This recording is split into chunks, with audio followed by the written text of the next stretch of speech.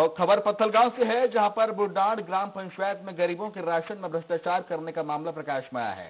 पंचायत के लोगों में सरपंच के खिलाफ नाराज़गी देखी जा रही है। दरअसल सरपंच किराना व्यापारी को राशन का सामान बेचने जा रहा था पर किराना व्यापारी ने सामने आ, सामान लेने से इनकार कर दिया। इसके बाद मामले ने तूल पकड़ लिया हालाँकि नशे में धुत सरपंच मामले से बचने की कोशिश लगातार करता नज़र आया है।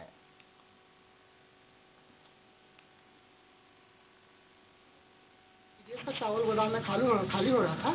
तो सरपंच द्वारा बालाक्रम प्रधान के किराना दुकान में नौ बोरा चावल रखवाया गया जिसको हम लोग बोले तो जो करना है जाओ कर लेना बोला। किस मकसद से रखवाया गया था चावल? बेचने बेचने के लिए रखा बलराम प्रधान जी बताइए जो आपकी दुकान में बोल रहे थे तो कौन रखा है सरपंच रखा था। नौ बोरा चावल। मैं घर में नहीं था। सरपंच का क्या नाम है? मेरी नौ बोरा नौ पर हम लोगों ने बुआया पूरा आल टोटल मतलब कि ट्रक में आया था, पूरा चावल पंचायत घर में है अभी अब यदि विश्वास नहीं करते, आप गिनती कर सकते हैं। और अब खबर रतलाम से है।